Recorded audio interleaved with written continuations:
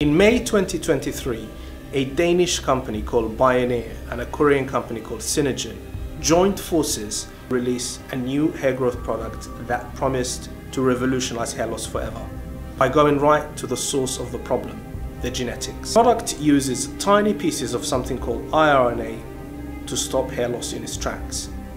This is a brilliant idea, a unique approach to hair loss. It was designed in Korea, one of the leading hair loss treatment centers on the planet. Already has European approval and is on sale in Europe. It's even on sale on Amazon, and the idea is truly unique. But still, I wouldn't go anywhere near this product, and here is why. Hello, my name is Jibril. I'm a pharmacist who worked in the hair loss industry. First glance, this is an amazing breakthrough because it's such a novel idea. And the idea is this. Normally, your genetics, and to be more precise, your DNA decides what your hair loss is going to be like.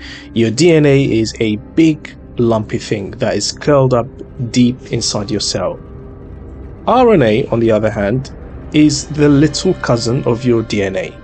It is smaller and more nimble, and one of its jobs is to carry out instructions from the DNA to the rest of the cell and to the rest of the body.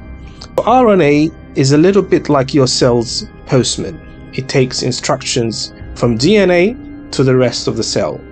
So how is all this relevant to hair loss?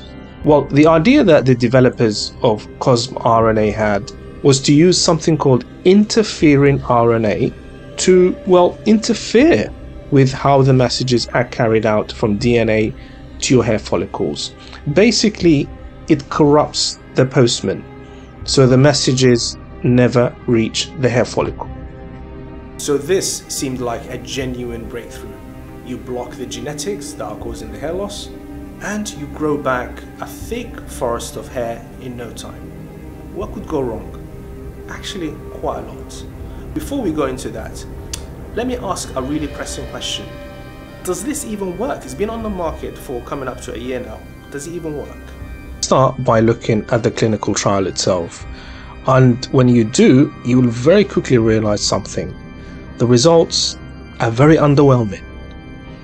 At the initial dose, the participants in the trial who had the treatment had on average an extra 2.2 hairs per square centimeter. And the dose was whacked out. They had an extra 7.7 hairs per square centimeter.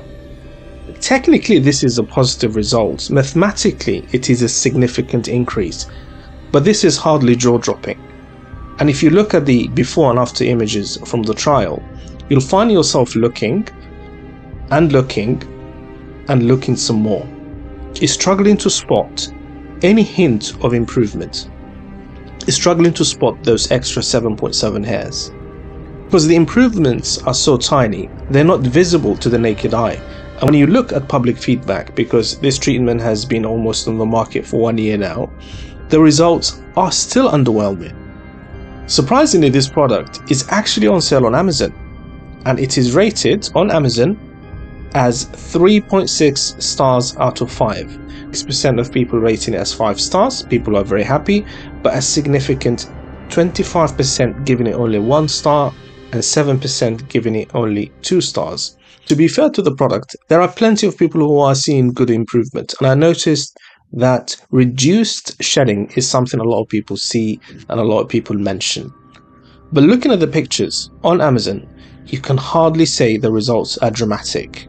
So we established the product does sort of work up to a point, but why is it $300? Over $300 per bottle.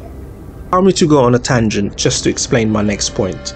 This book is produced every six months by the Department of Health here in the UK, and as a pharmacist, I use it almost every day. It gives the average prices for almost every drug with a license in the UK. So what the government do is they basically go and ask every manufacturer in the UK uh, how much they charge for each drug and they come up with an average value. So you know that the value they list here is pretty much legit. According to the latest edition, a box of finasteride, Propecia, which is a popular hair loss uh, medication should cost around £1.77 sterling, which is about $2.22 for a box that supplies one month. Now, for iRNA or CosmeRNA, it was claimed that this product is 83% as effective as finasteride. So, my question is why is CosmeRNA 150 times the price of finasteride?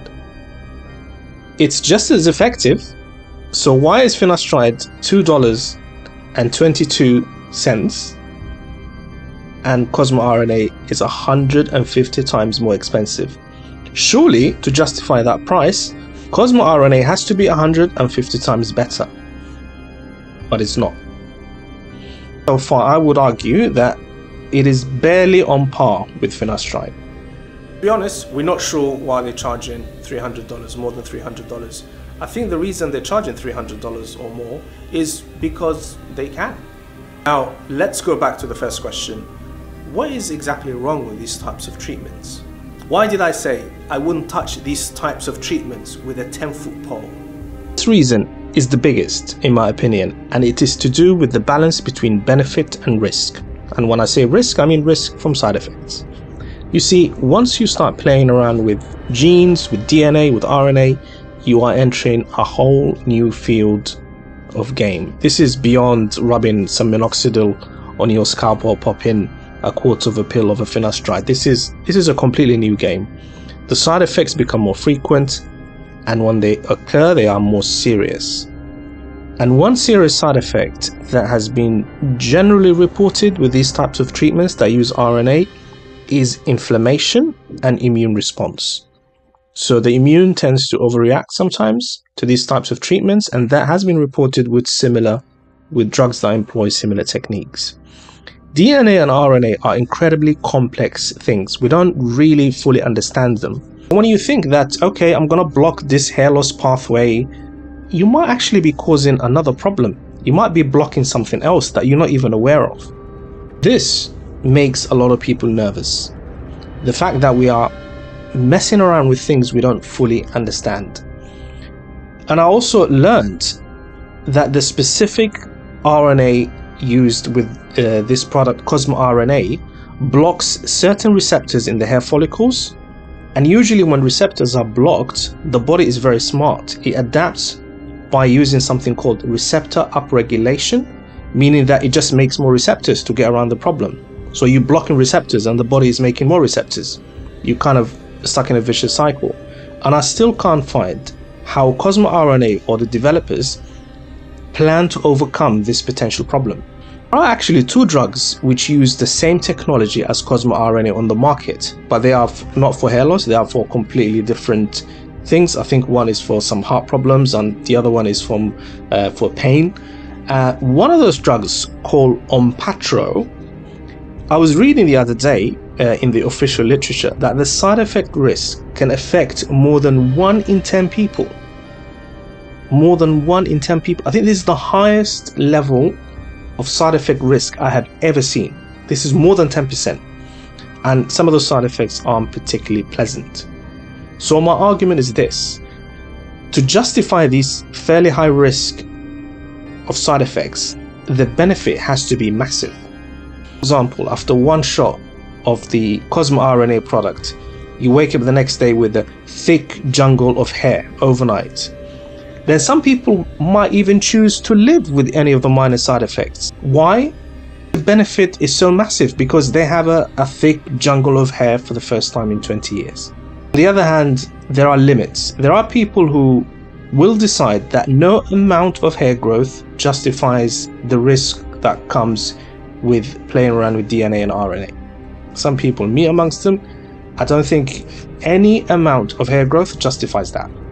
Another worrying thing I heard about this product is when they initially tried to launch in their home country in Korea, in, in South Korea, I understand the health authorities over there blocked it. They blocked the product from launching there. And the reason was they did not think that this was a cosmetic product. And the makers actually took the health authorities in Korea to court and it was a big, messy old battle. But I understand now they've finally been approved to release in Korea. So they even struggled to release the product in Korea. And here is another interesting point which makes me believe this product is a pure cash grab. The people behind the product can see that this product has not really been received that well. Uh, we saw the results, we saw the reviews. They're not stupid, they're very smart people. They can see the product is not really going anywhere. So why would they persist with this very high price and putting it on Amazon and all that? I think because it's a quick cash cow. I don't really think they see it as a long-term product that is going to be on the shelves for you know decades 20 30 years i think they see it as let's get as much money as we can now because this product is going to die quickly it has no prospect of being licensed in the us my personal take i would personally avoid anything to do with uh, dna or rna manipulation when it comes to hair growth the reason is uh, hair loss is a vanity problem nobody has ever been rushed into hospital suffering from hair loss so you have to have a ceiling of how far you're willing to go to get your hair back. And the top of that ceiling is, is it going to damage my health?